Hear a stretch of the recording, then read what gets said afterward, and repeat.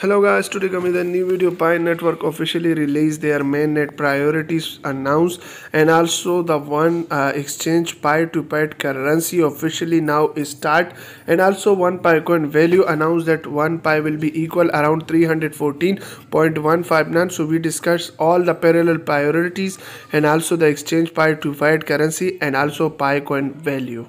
so wait guys if you are new to this channel don't forget to subscribe the channel. If you subscribe so don't forget to like this video. So let's start the so guys you can see that official pi network now has uh, released their now guys you can see that pi network officially released the parallel priorities of the enclosed main uh, network period of the mainnet and the current enclosed network period of the mainnet allow pi network to focus on a two priorities mass KYC and ecosystem utilities building. Both are essential steps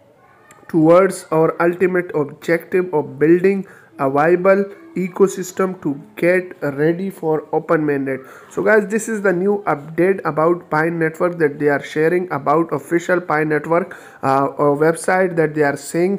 parallel priorities that the biggest priorities of focus on two main system that complete the mass KYC of all the pioneers who are currently waiting. And the second one is ecosystem equalize because they are saying that the current enclosed network period of mainnet is allow Pi network to focus on two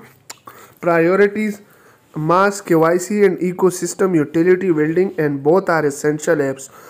And they are also saying that the step toward our ultimate objective of building a viable ecosystem to get ready for open mainnet and they will happen in this year and this month after december 25 will be the all the things will be ready and they will launch officially their open mainnet network because almost ready everything. And also they are saying that one Picoin value on ICO enclosed network period of mainnet will be around 314.159 and that will be the official Picoin value when Pi launched their mainnet and listed on some exchange. So guys this is the update and this is the video. So if you like this video don't forget to subscribe the channel. Inshallah we'll meet in the